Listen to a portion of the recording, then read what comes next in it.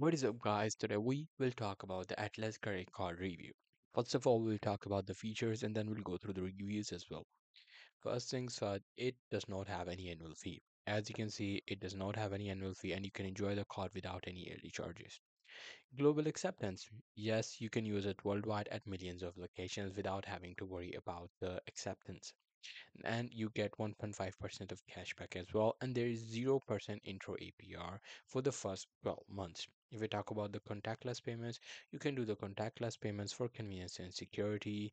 There is the travel insurance coverage for trip cancellations and delays. There is a fraud protection as well and you can access it through the mobile app as well anywhere you want and then they have the extra protection on eligible purchases and you can actually do a rental car insurance as well coverage for damage and theft. Now these are the features if you talk about the reviews. As you can see trustpilot is one of the most famous uh, website uh, in order to find the reviews. As you can see it has a review rating of 4.8 which means most of the people do like it. So it 4.8 is actually considered as a high rating.